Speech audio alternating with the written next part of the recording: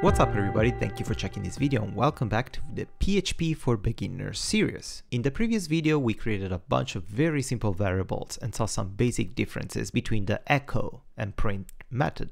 In today's video we're gonna start looking at how PHP can handle multiple files with the include and require methods and their variations. I'm gonna update the strings of our title and description variables just to have some more realistic test data, as well as creating a p variable to echo as paragraph text let's clean up a little bit our index.php to get a very simple structure. Now, let's create a new variables.php file and move all the variables we originally declare at the top of our index.php inside our variables.php file. If we reload our page in the browser, we will obviously get an error since all the variables we're trying to echo are not available anymore.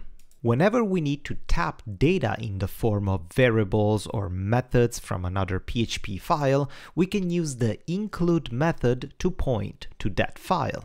In preparation for later, let's also add a footer markup and write some simple text that doesn't rely on any variable. Now, at the top of our index file, let's open the PHP tags and write include space double quotes and the name of the file we want to include in our case, variables.php. If we reload our website, everything should work as it did before. The include method allows us to literally include one file inside another.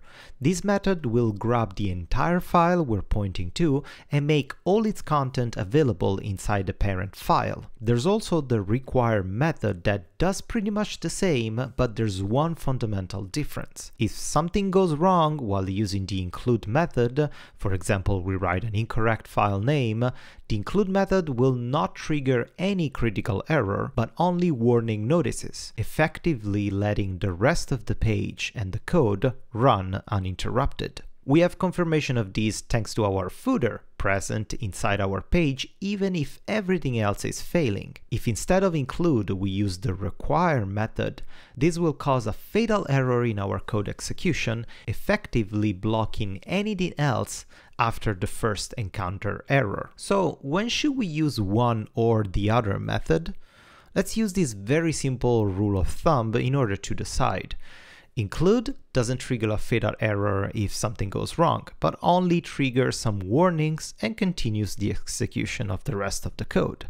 Require does trigger a fatal error if something goes wrong and blocks the execution of the rest of the code.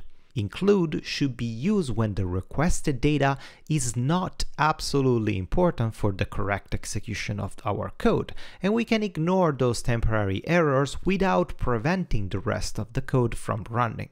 Require should be used when the requested data is vital for the correct execution of our code, and we want to prevent any further running or continuation of our script if something is missing. There are also a couple of related methods that are pretty common, which are the include underscore once and require underscore once. These variations do exactly the same as their regular counterparts, with the exception of being smart enough to know when a file has already been required or included and avoiding fetching it again. An extra little tasty treat to keep your code clean and easy to maintain is to remember to not close the PHP tags if your file is purely PHP and you don't need to print any HTML markup.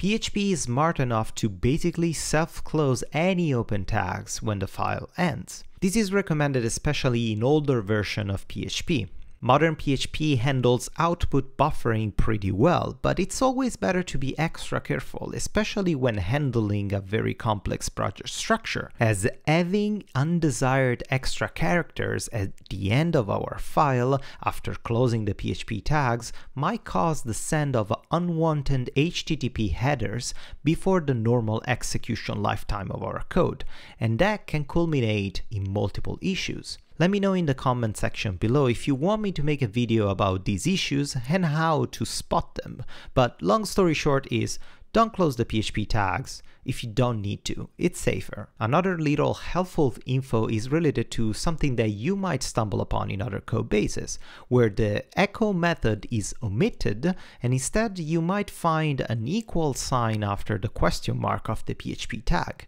That's called a short tag, and also in this case, I wouldn't recommend using it. Other than being less explicit and making the code less easy to read, this particular variation can be disabled via the php.ini file. So your code might end up running on a server where the admin disabled that specific short tag, making your code entirely incompatible.